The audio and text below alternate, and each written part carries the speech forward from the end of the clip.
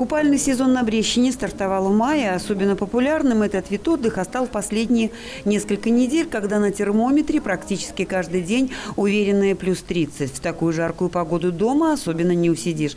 А на пляже возле прохладной воды переносить аномалии проще, но не безопаснее. Беспечное отношение к себе и своему здоровью выливается порой не только в солнечные удары. Резкое переохлаждение при погружении в воду, несоблюдение правил личной безопасности при пребывании на воде, воде, иногда последствия такой релаксации оказываются куда более печальными. На сегодняшний день ушло из жизни на воде 34 человека.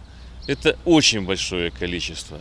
И поэтому есть над чем работать. Наша общая задача сделать все для того, чтобы таких фактов было как можно меньше или вообще их исключить.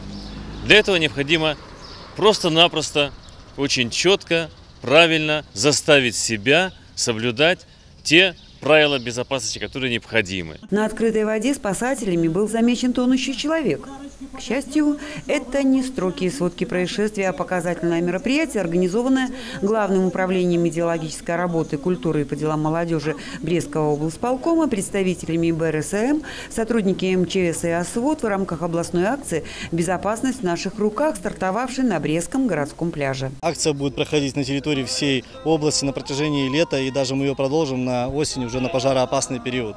Вот. Э, цель акции – это, конечно, профилактика и обучение правилам поведения безопасности на воде. В данный момент на нашем береговом участке, где мы охраняем жизнь и безопасность людей, у нас происшествия не случилось, но состояние алкогольного опьянения, э, беспечность родителей, выезжали, вынимали детей. Важно понимать, вода не терпит беспечности, и в момент, когда человек вовсе не ждет, она сыграет с ним злую шутку, из друга превратившись во врага, и стоить это будет очень дорого. На кону жизнь.